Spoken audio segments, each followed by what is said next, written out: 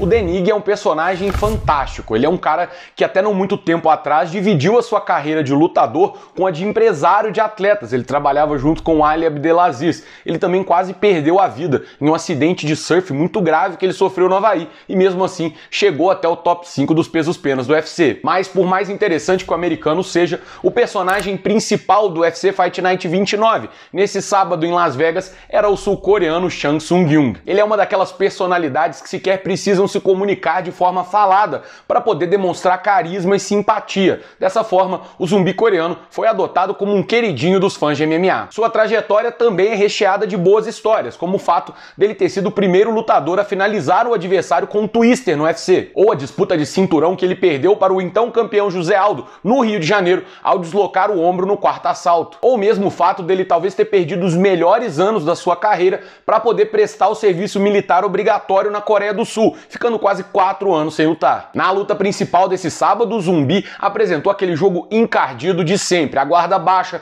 os jabs certeiros, uma defesa de queda afiadíssima e as suas próprias quedas sempre providenciais. No primeiro round, Ig até manteve as coisas um pouco equilibradas, mantendo-se próximo ali com o número de golpes lançados e conectados, em um round em que a tônica foi o estudo. Mas a estratégia do zumbi coreano era clara: trabalhar o quanto fosse possível da média para longa distância e depois garantir a vantagem com o jogo de quedas. Mas não era só isso. Ele também caprichou no ground and pound. Embora tenha saído com um corte no supercílio, magoou bem mais o rosto de Ig, que engoliu aí cerca de 10 a 20% mais golpes. Essa performance dele ter subido no segundo round, aliás, é surpreendente, porque o técnico do zumbi coreano contou à ESPN americana que ele deslocou o ombro, o mesmo da luta contra o Aldo, no segundo round. E dentro do mesmo round, esse ombro voltou pro lugar, coisa de maluco. Por mais que não tenha corrido tanto perigo assim e tenha conquistado uma vitória relativamente tranquila nas papeletas dos juízes, o próprio zumbi coreano não ficou 100% satisfeito, como ele mesmo falou em entrevista a Michael Bisping após a luta. Eu tentei finalizar de toda forma no quinto round.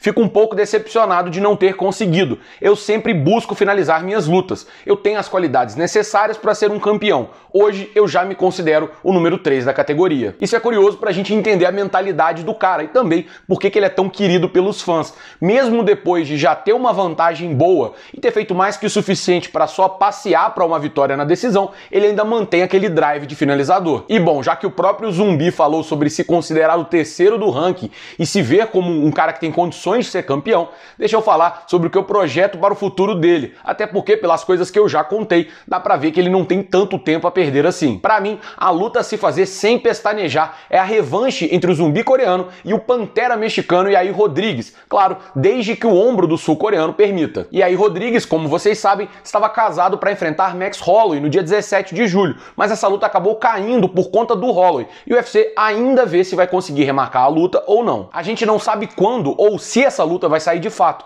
Então por que não programar um duelo entre dois top 5 da categoria e que a gente sabe que vai ser uma guerra tremenda? Porque lembre-se, o primeiro encontro entre o zumbi coreano e o Pantera entrou para a história do UFC com aquele nocaute no último segundo, com uma cotovelada ascendente. Mas o que nem todo mundo se lembra é que o zumbi coreano vencia a luta nas papeletas dos juízes. Ou seja, ele literalmente ficou a um golpe e um segundo de vencer aquele combate. Desde aquele dia, o zumbi coreano só perdeu uma vez para Brian Ortega, que vai disputar o cinturão a seguir, e ganhou agora a sua terceira luta em quatro aparições. Já Rodrigues só pisou no octógono mais duas vezes desde então, com uma vitória e um no contest, e precisa voltar o quanto antes, já que não luta desde 2019 e tem que justificar sua posição de número 3 no ranking da categoria. Eu entendo e até concordo que a preferência nessa fila seja do Max Holloway, mas também acho que tem outros bons nomes ali para o zumbi coreano, como por exemplo o brasileiro Edson Barbosa ou Calvin Catar. O próprio zumbi na entrevista coletiva pós-luta disse que vê com bons olhos uma luta contra Max Holloway, mas aí dentro da minha projeção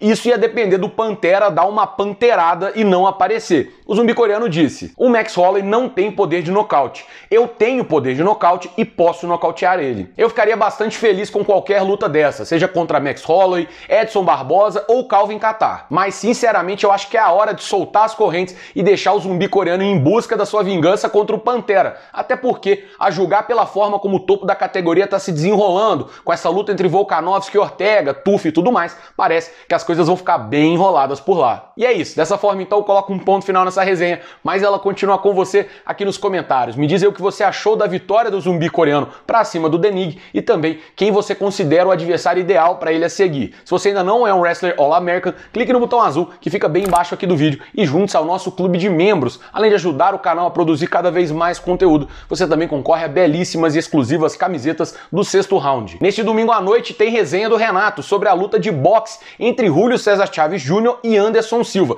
E eu vou deixar aqui para vocês o link para a última edição do Fala Membro, respondendo aí as perguntas dos wrestlers All-American, beleza? Valeu, um abraço e até mais!